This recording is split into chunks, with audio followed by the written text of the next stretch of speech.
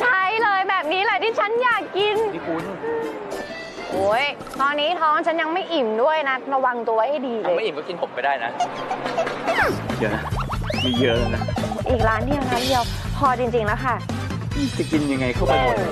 เฮ้สบายท้องจังเลยนี่คุณว้ายว้ายว้ายคุณนี่ฉันตกใจหมดเลย